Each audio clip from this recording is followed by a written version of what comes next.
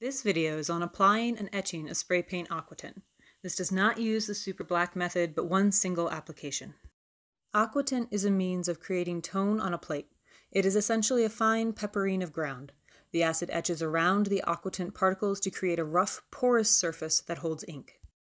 When you think of carding ink across a plate, consider the unetched surface as having a texture similar to glass. It's smooth and the ink pulls easily across it. But by applying and etching an aquatint into the plate, you can create a texture more akin to sandpaper. This rough surface catches and holds ink. This is the second plate in a multi-plate print. Thinking initially that I only wanted to do one layer of aquatint, I applied a tarnish and removed the ink from the surface that correlated with the key plate. Because of this, there's a little troubleshooting in this video. But know that if you plan from the beginning to do a multi-step etch, it's best to leave the ink on the plate so as not to lose your guide with the first etch, which is longer than a tarnish and will burn the delicate marks away. This plate has been degreased using the salt vinegar water mixture.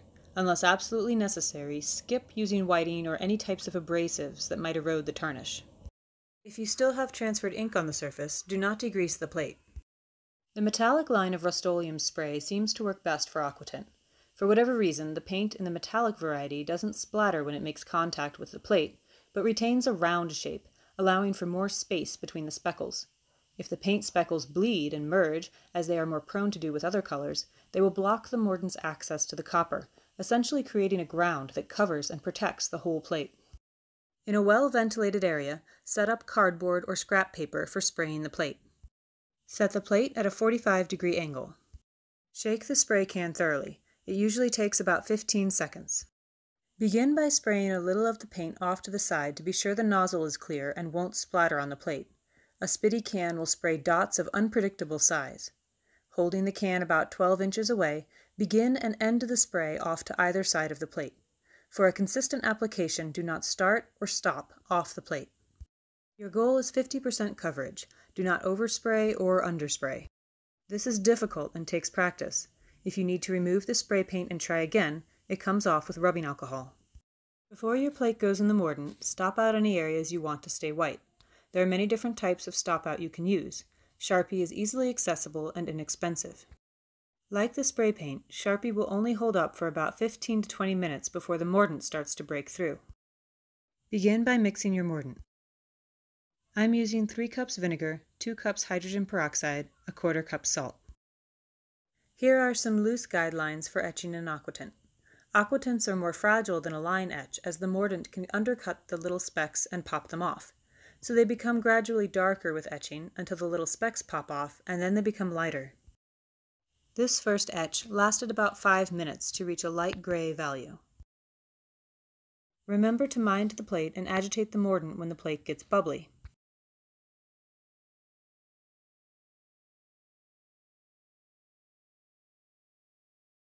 Remove and dry the plate.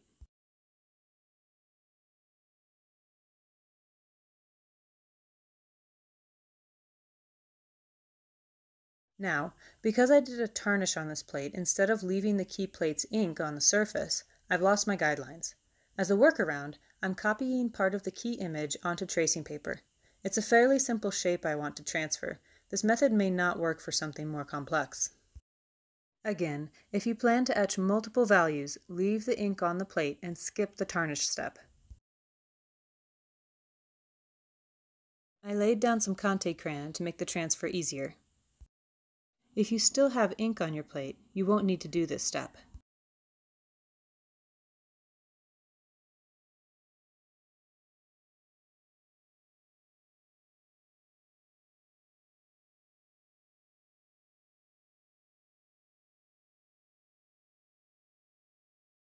Using a pencil, I transferred the shape I wanted to protect from the next etch.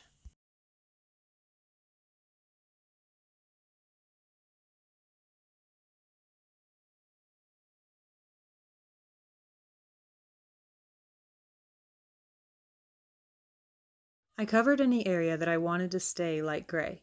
I also reinforced the Sharpie already on the plate, protecting the white values. Now the plate is ready for a second etch. In it goes for another 15 minutes. This will bring my total etch time to 20 minutes. If I wanted to go darker, I would need to remove the aquatint and reapply to avoid undercutting.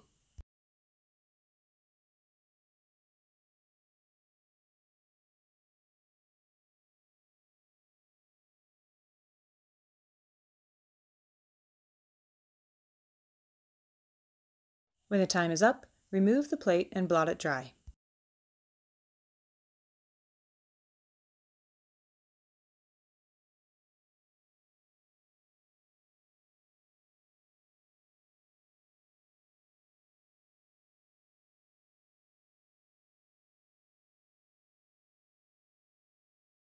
Remove the spray paint and Sharpie with rubbing alcohol.